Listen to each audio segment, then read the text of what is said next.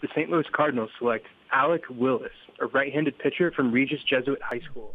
On July 12, 2021, Regis's own Alec Willis realized his childhood dream. It was probably the best moment of my life so far.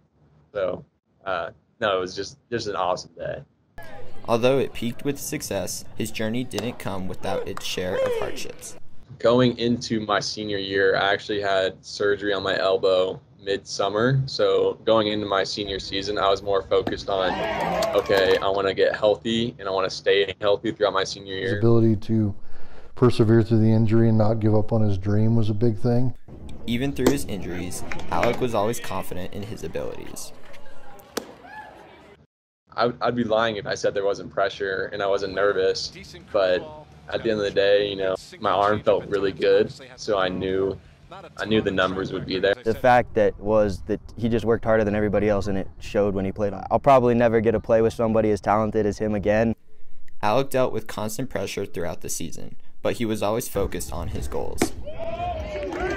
I just try to enjoy every single second of it, and I think that's why um, I had a I had a really good season just because I realized that this is my last high school season. I'm literally just gonna try to go out there and win every single day and try to make the most of it.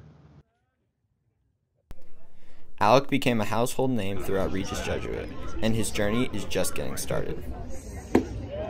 I think um, he's, you know, you got the body of a big leaguer, the work ethic, the size, he's really talented. Um, it's just a matter of staying healthy, probably, and getting the right opportunity at the right time. I think he can he can be a great dominant MLB pitcher. I mean, if he'll he'll continue to work his butt off um, as he has through high school, and I, I think that the sky's the limit for him. Even though he is now in the major leagues, Alec continues to inspire the young athletes at Regis